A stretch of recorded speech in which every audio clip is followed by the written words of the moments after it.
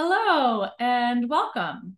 I'm Nicole Palmer, and I'm the new executive director of the Friends of the Kotzschmar Organ. I am joined today virtually by James Kennerley, the municipal organist of Portland, um, and Bob Russell, officially Robert Russell, who is the conductor and music director of Choral Art. Do I have that right, Bob? Great. Um, well, thank you both so much for being here today. Uh, we're just going to talk about our upcoming concert, Carmina Burana, which is going to take place on October 2nd in Merrill Auditorium at 3.30 p.m. You can get your tickets now at porttix.com.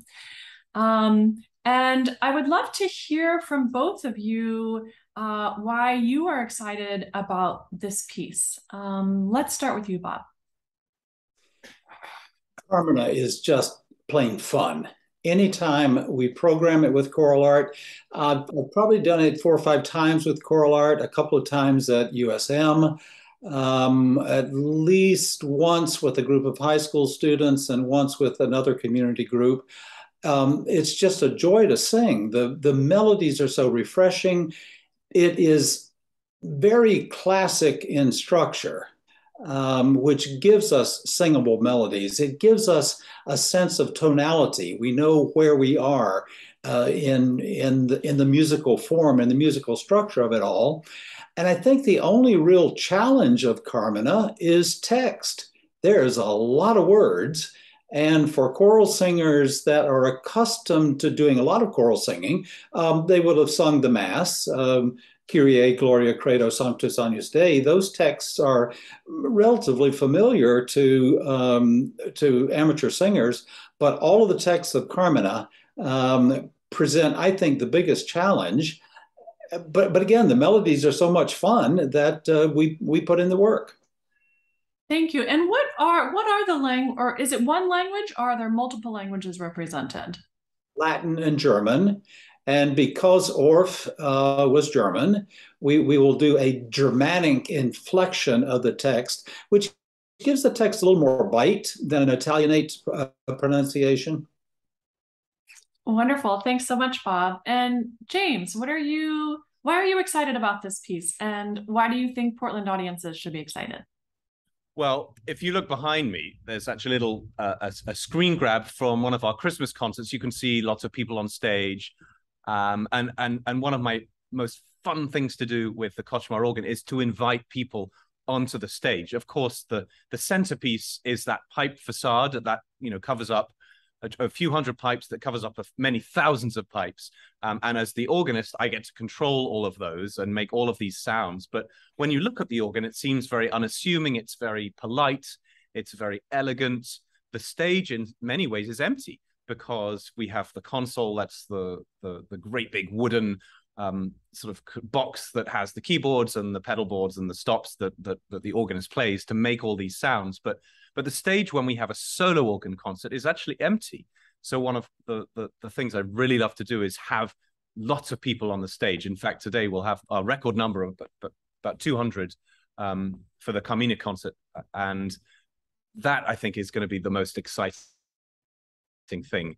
Uh, and with that comes the hustle and bustle, um, almost fighting for space on the stage, and the, the joy of even the singers themselves hearing the Kotzschmar organ for the first time. It comes from behind them, and many of them won't be expecting the kinds of sounds that they're going to hear. And so I think tying into what Bob said, and, and really tying into the idea of what Carmina was, which was not really a necessarily a choral piece or an orchestral piece. It was written to be a theatre piece. I think that uh, Orff called it this uh, Theatrum Mundi, the, the sort of the theatre of the world. And a little bit like the operas of Wagner, he talked about the Gesamtkunstwerk, the complete artwork. And so what Orff is doing here with the Theatrum Mundum is bringing in the dance, the singing, the solo voices, the choral voices, the various texts from the High German and um, Middle German and Latin, and the mix of sacred and profane, more profane in the case of Carmina Burana, which is why it's such fun. Um, and of course, what we're doing is we don't have an orchestra, uh, so the audience doesn't get to look at the violins and the, the, the the flutes and the French horns. But but what they do get to see, I think, is going to be more exciting. They're going to see all of these singers, hundreds of singers on the stage. They'll see all of the percussion instruments and they will see how that all interacts with sort of the Kotzschmar organ, watching over gracefully with, uh, as I said, that very um, modest pipe shade that hides behind it all of the sound. So I think this piece is all about theater. It's all about fun. It's all about the the art and act of surprise. And, and I, I think that's what makes me so excited about this project. And I think the thing that uh, neither of us has mentioned so far is th- the biggest bang for the Carmina Burana buck is the sonority itself. Orff has composed massive sonorities that just knock you out of your seat, as well as incredibly intimate, lyrical, beautiful, um, sublime, and, and, and very precious uh, melodies, um, all within the space of an hour. Thanks, Bob. Uh, and James, it's it's so exciting. I'm I'm thrilled for this concert. I can't wait. Um, I'm wondering, Bob, if you can tell us a little bit about the singers who are going to be uh, singing in the chorus as well as the soloists. But the the chorus doesn't isn't just comprised of the incredible choral art. Tell us a little bit about who's going to be up on stage. Um, the core of the chorus is the 80 singers from the Choral Art Masterworks Chorus. Um, Masterworks usually does a, a, concert a year with the Portland Symphony, and uh, regular patrons will recognize the large chorus that has sung on stage with the symphony, um, Verdi and Mahler and Brahms and, and things of, of that ilk, as, as well as the Carmina. And because we have uh, so much stage space, and because choral art really enjoys um, community interaction, drawing the community in as we have opportunity, this is a prime opportunity. And, and so I extended an invitation to high school singers um, and community singers in the state of Maine. And joining the 80 singers of choral art are 100 from uh, the community. So 180 um, voices will be ringing forth from the stage um, in, in addition to the organ and the percussion including, as I understand it, a number of high school students from around the state.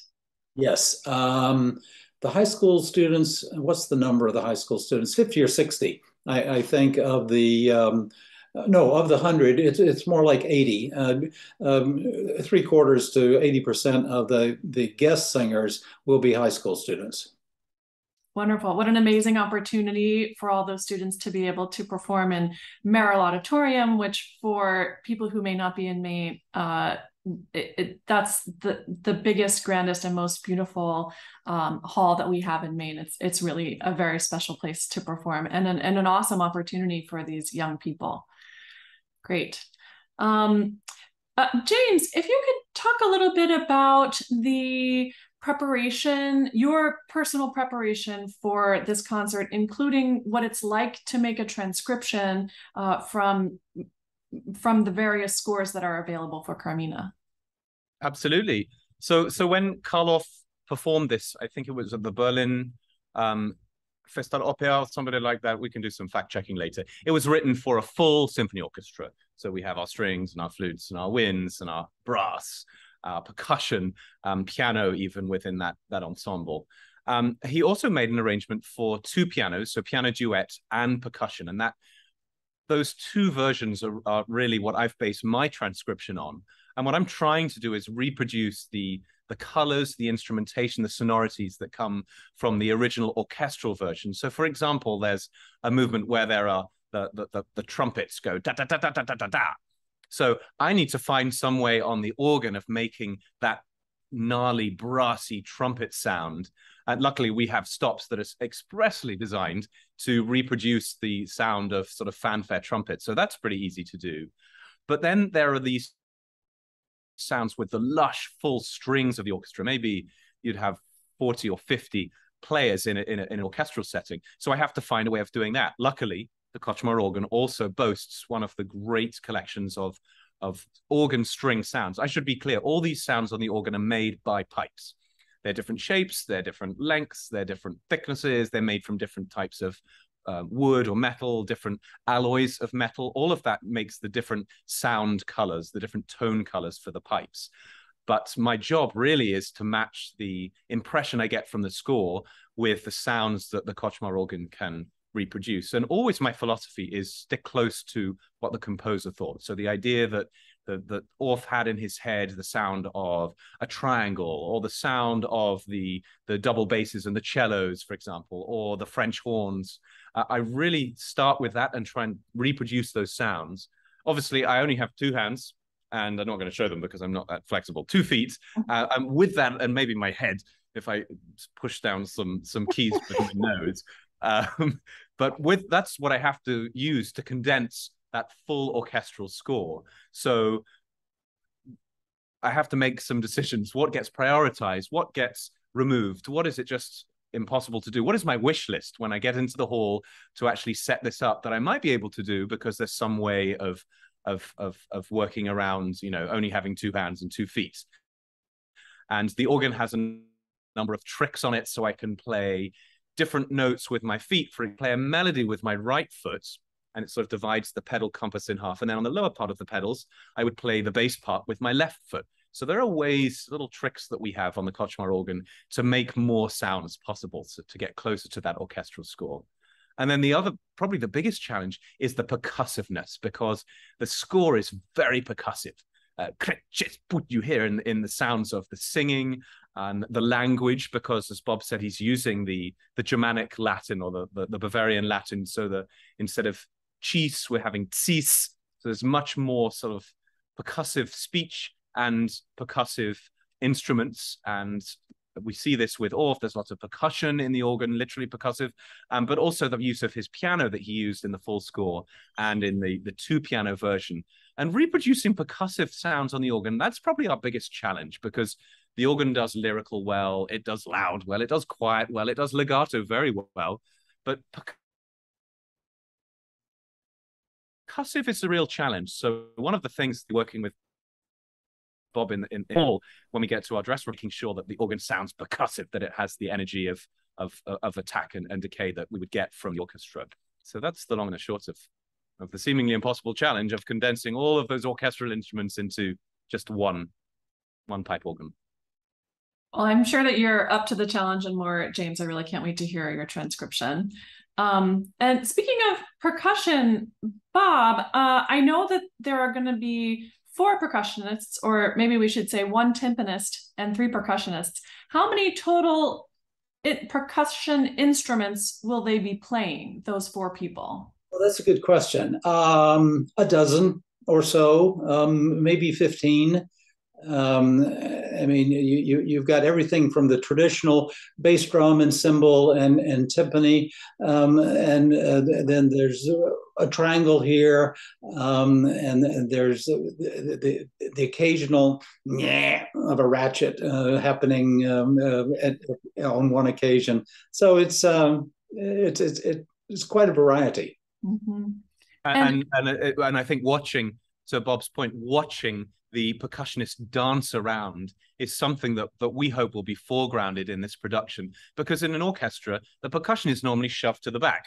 Um, and that's really because they play very loud very big spacious um, instruments. And we tend to put them at the back of the the stage. And so as an audience member you might not have even seen the way that the percussionists work. The, the when you play the timpani they change the pitches of the drum by stretching the drum head to make the, the, the, sound higher or relaxing it to make it lower. And they do these with pedals and, and almost you you wouldn't have even seen it because it's done with such magic and and and and subtlety. But we're hoping that you will actually see them move from one thing to the other. They'll be playing the tambourine, then they have to go to the sleigh bells, then to the tam tam, and then to the cymbals and the triangle and the, the antique cymbals and and the xylophone and the gong and glockenspiel.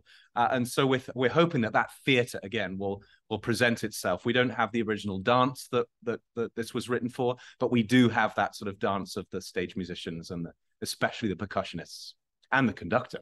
Uh, well, in fact, James, the percussionist will be over your right shoulder. Um, in in the background where the choir right now is standing is where the percussionist will be. So they will be in full view of the audience. Mm-hmm. Precisely. I'm very uh, loud.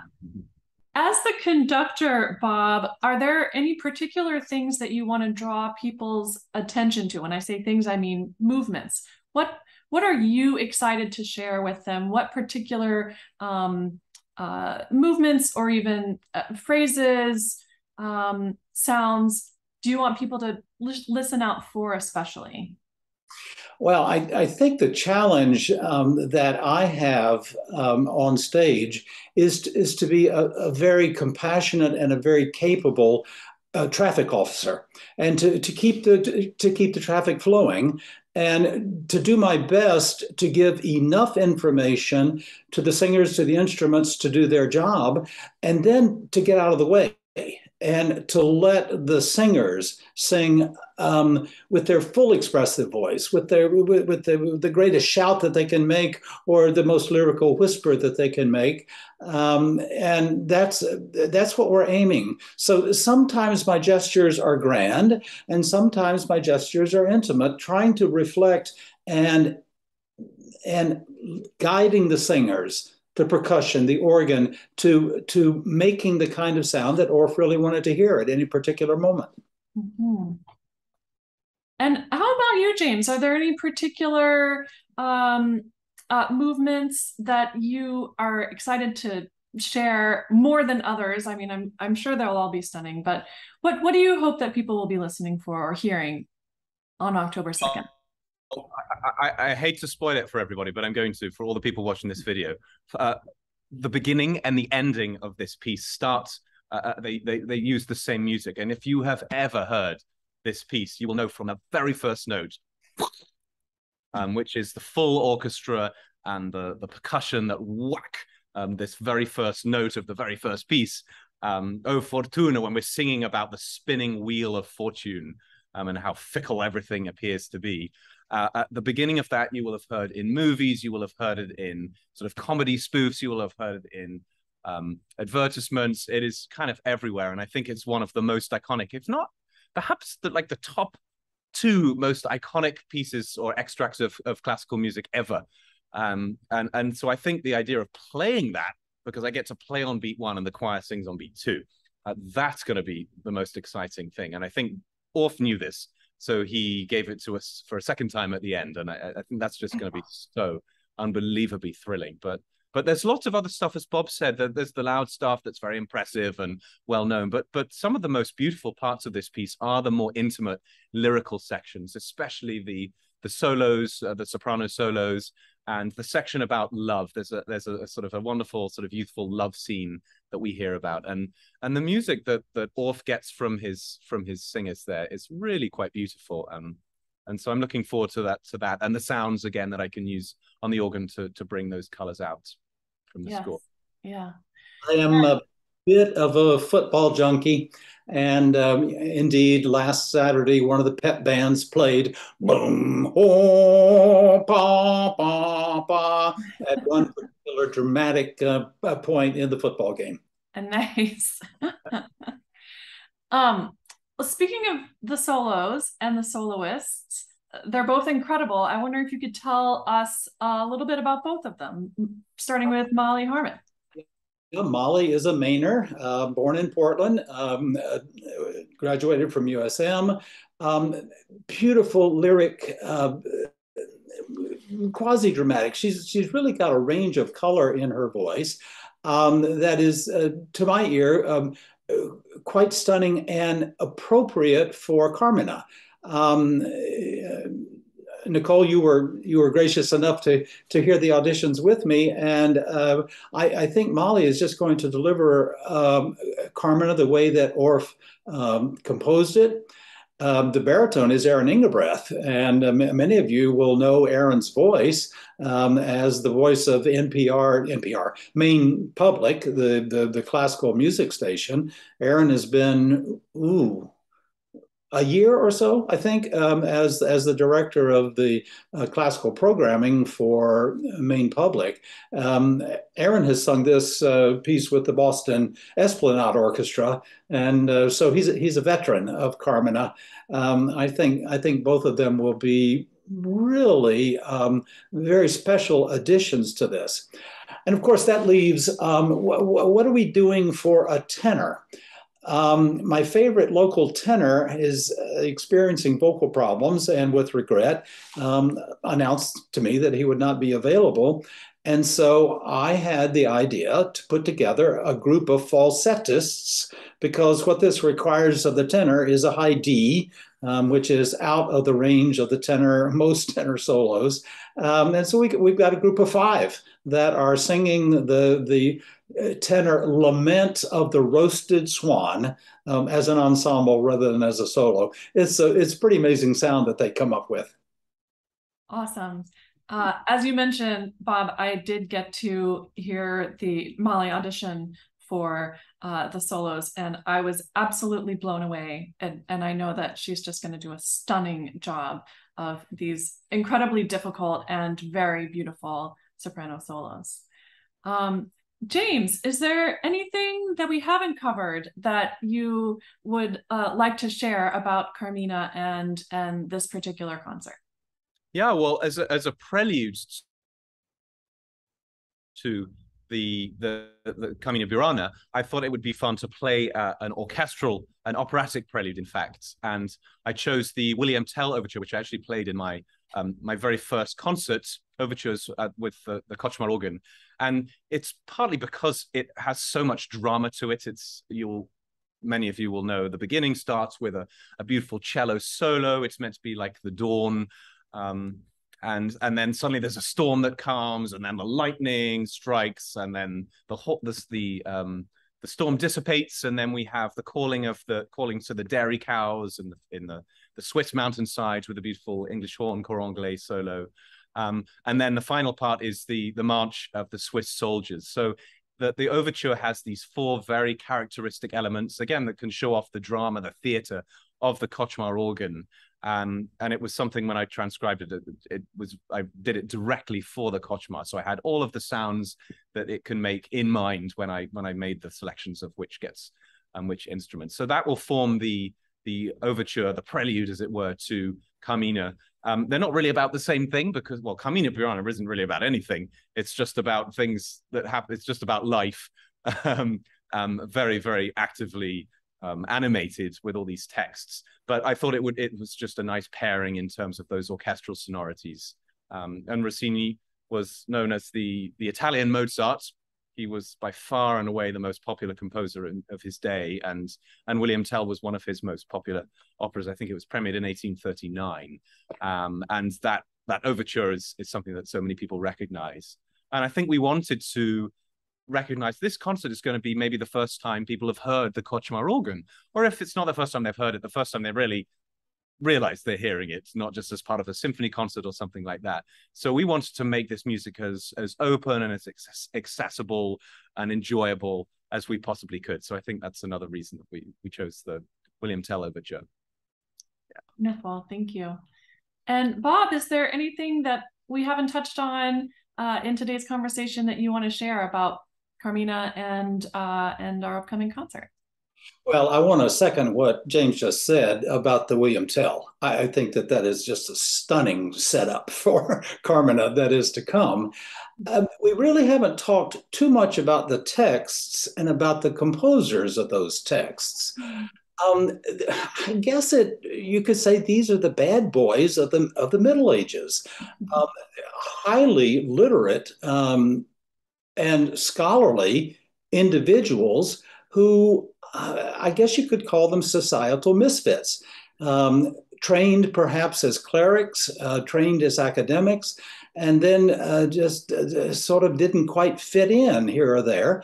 And so what they wrote was satire. What they wrote um, was about the, the joys of springtime and and young love and new love and the blossoming of love that is possible in the springtime. Passionate texts and for me always compelling texts which makes the preparation um, all the more delightful. Wonderful. Well on that note um, i will remind everyone again that our concert is on october 2nd sunday october 2nd at 3.30 carmina burana with choral art joined by um, a hundred additional singers and James Kennerley, the municipal organist of the Kotzschmar organ, um, also presented by the Friends of the Kotzschmar organ. And we're so excited about this concert. We hope that you will come uh, to see us in person. And if you can't, uh, you can also go on to porttix.com to um, order tickets to watch the concert from the comfort of your own home. And uh, we'll see you all on October 2nd. And until then, stay safe and be well. Thank you.